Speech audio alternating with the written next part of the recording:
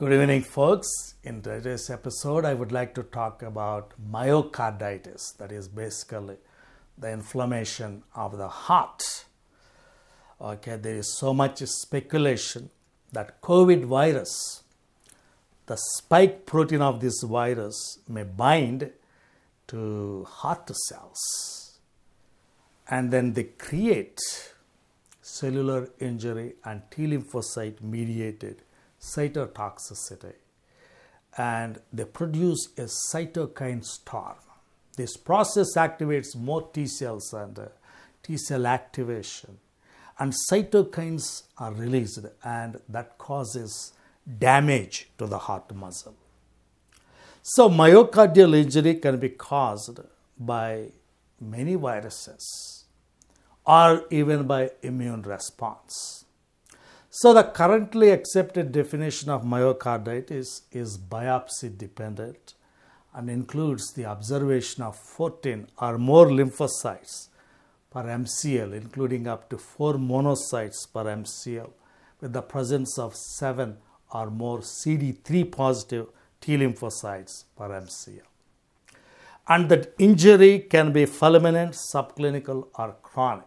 The second phase results in viral clearance and is accomplished by activation of T and B cells and antibody production. Associated cytokines help contain the injury but may actually worsen it by attracting inflammatory cells. In severe myocarditis, soluble Fas ligand and interleukin may be expressed. Both cellular and humoral inflammatory processes contribute to the progression to chronic injury, and there are subgroups that appear to benefit from immunosuppression. Genes also play a role. Genetic predisposition is a likely factor in at least a few cases. Autoimmune myocarditis, like giant cell myocarditis, may occur with no identifiable viral infection. So, people with genetic predisposition are at higher risk to develop heart damage and heart inflammation after COVID infection. We need to understand that. What about vaccines? So, myocarditis or heart inflammation following COVID infection or vaccination have been reported uh, in recent years. Now, anger male patients seem to be at highest risk for this overall rare event. With vaccination, if you look at CDC reports, 13.3 myocarditis cases per 100,000 recipients of the Moderna vaccine and 2.7 cases per 100,000 recipients of the Pfizer vaccine, while the natural COVID infection, a rate of 150 cases of myocarditis per 100,000 people has been described.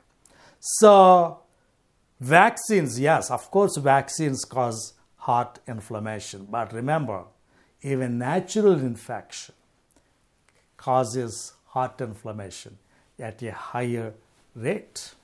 With COVID 19, myocarditis appears to affect ethnic groups disproportionately, with death rates highest among black persons, likely due to both an increase in comorbidities and healthcare disparities. In Germany, they studied 100 patients who had recovered from COVID 19 and they took cardiac MRI scans, and these scans revealed some degree of abnormality in 78 patients, with inflammation noted in 60, independent of severity of the illness. Patients with fulminant myocarditis may present with acute cardiogenic shock. So many people develop cardiogenic shock, all right, and that can cause sudden death even in uh, young athletes younger than 35 years. The ventricles are usually not dilated but thickened. They get thickened and there is a high death rate. Now, some people say some people recovered very well after this cardiogenic shock. But remember, everything depends on the kind of treatment these people get in the right time. If you delay, then the consequences will be severe, even fatal. And those people who have the chronic disease, okay, some people develop chronic heart disease. They tend to have only mild dilation of the left ventricle and eventually present with a more restrictive cardiomyopathy. When you treat them, for example, you need to see, uh, you need to get an echocardiogram and uh, left ventricle ejection fraction plays a role. If it is less than 40%, start with ACE inhibitors and beta, beta blockers. Colchicine has been suggested if pericarditis predominates. These patients develop arrhythmias, that means irregular beats. And those irregular arrhythmias also should be suppressed. And COVID related myocarditis, the general treatment is supportive. Therapies like remdesivir, glucocorticoids, interleukin 6 inhibitors, intravenous immunoglobulin, and colchicine, only corticosteroids appear to have any favorable effect on outcomes. The data are still incomplete. So we are seeing more and more literature coming out, but the clear picture will definitely come out in the next few years. Exercise should be limited during the recovery phase, and some people believe digoxin should be avoided, and it likely has little value in this setting anyway. So, controlled trials of immunosuppressive therapy with corticosteroids and intravenous immunoglobulins have not suggested a benefit, though some recommend intravenous immunoglobulins in some cases. So, there is so much uncertainty here. Intravenous immunoglobulin or corticosteroids or remdesivir. So, a clear picture is not there. Antiviral medications like uh, uh, for enteroviruses has been tried empirically and studies are lacking as to when to discontinue, discontinue the chosen therapy the patient improves.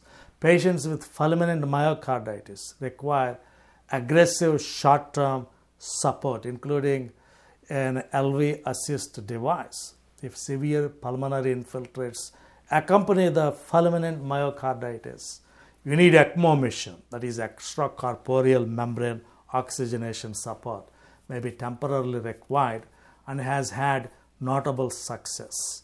Live virus vaccination should be delayed at least 11 months for children who receive intravenous immunoglobulins. Now, what about uh, uh, students or young, young people who get uh, heart inflammation after COVID and how to go back to sports? That's an interesting question.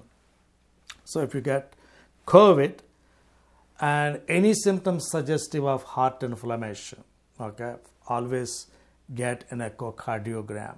An echocardiogram shows us how the valves are working, how the chambers are filling, whether there is any cardiomyopathy, whether these chambers dilated, whether there is restriction to the blood flow, all those things you will see very well on an echocardiogram. So, get an echocardiogram, get uh, uh, the enzymes like troponin to see whether heart muscle got damaged, and then get a 24 hour EKG monitoring.